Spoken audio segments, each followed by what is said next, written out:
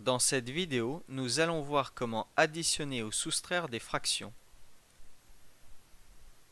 Si les dénominateurs sont égaux, comme dans le cas de mon exemple, je garde le même dénominateur. J'écris donc 5 en dessous de la barre de fraction.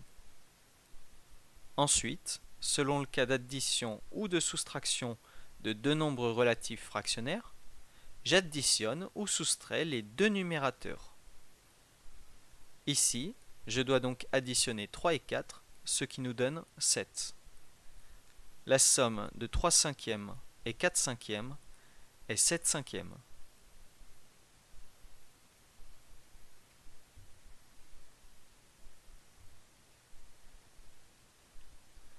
Si maintenant les dénominateurs sont différents, je dois les réduire au même dénominateur. Dans mon exemple, les dénominateurs sont 5 et 10. Je constate que si je multiplie le numérateur et le dénominateur de la première fraction par 2,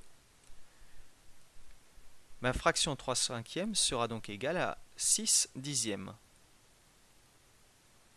J'ai ainsi obtenu un dénominateur commun qui est 10.